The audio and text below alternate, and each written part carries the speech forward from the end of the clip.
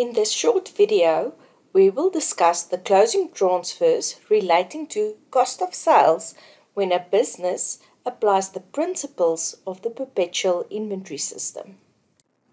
When a business makes use of the perpetual inventory system, all inventory purchased are recorded directly in the inventory account.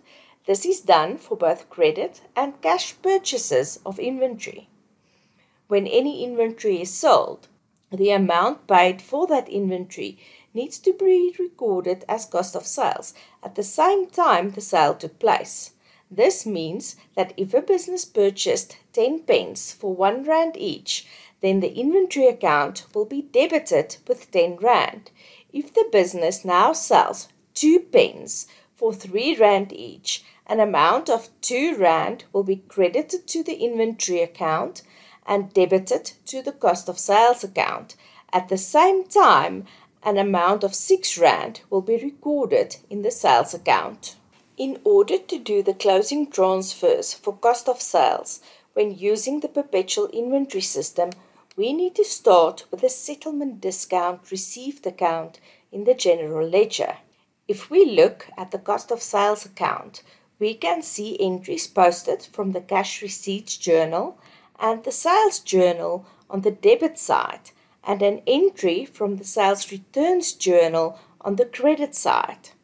The first entry on the debit side relates to the cost of sales of inventory that was sold for cash to the amount of 12,000 Rand and the second entry relates to the cost of sales of the inventory that was sold on credit totaling 17,000 Rand. The entry on the credit side of the cost of sales account relates to the cost of goods previously sold on credit that was returned by customers. Settlement discount received was posted from the cash payments journal. Settlement discount received are recorded in the cash payments journal when the business receives settlement discount from trade creditors for early settlement of accounts. Firstly, we need to do the closing transfer for the settlement discount received account. The settlement discount received account has a credit balance of 4,300 Rand and therefore to close this account we will need to make an entry of 4,300 Rand on the debit side of the settlement discount received account. The closing transfer will be done in the general journal the settlement discount received account will be debited with 4,300 Rand and the balance is transferred to the cost of sales account, which means the cost of sales account will be credited with 4,300 Rand. The settlement discount received account now has a zero balance. The next account that needs to be closed is the cost of sales account. The next step now is to calculate the total of the debit side and the total of the credit side. After adding the amounts on the debit side, the total is 29,000 Rand. The total of the credit side amounts to 7,200 Rand.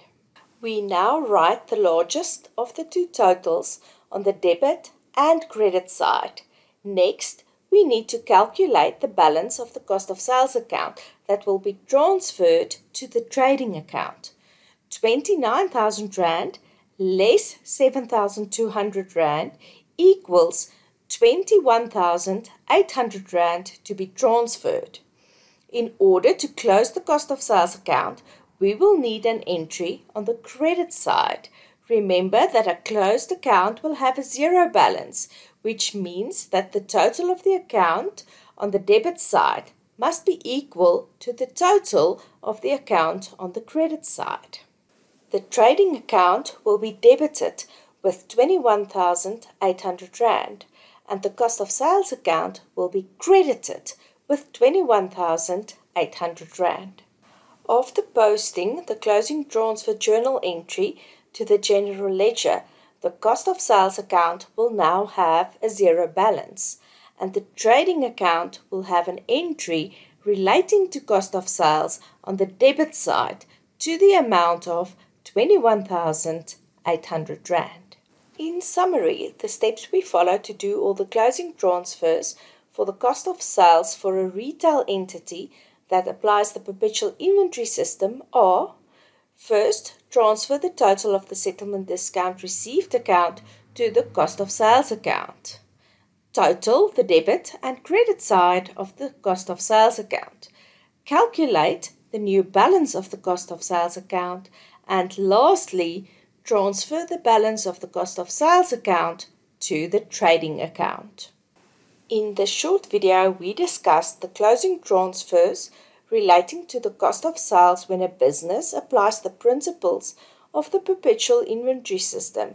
You should now be able to close the settlement discount received account and the cost of sales account.